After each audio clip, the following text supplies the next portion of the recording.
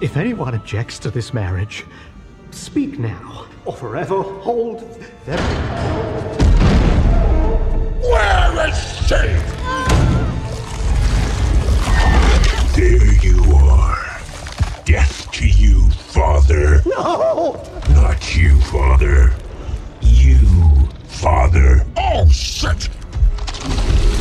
Whoa, where you going? Where you doing? This is much worse than I thought. That is a red one. Wow. Uh, red one. We should leave immediately. Annie will get over it.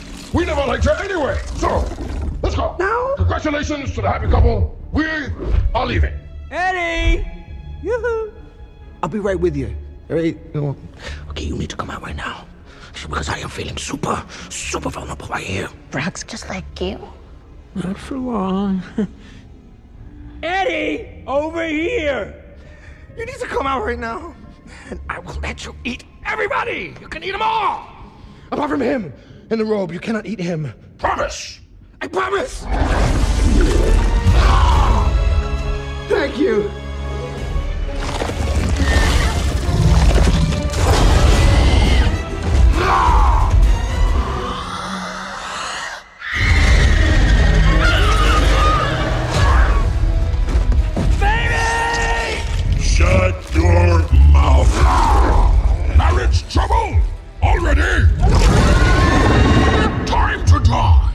The spirit!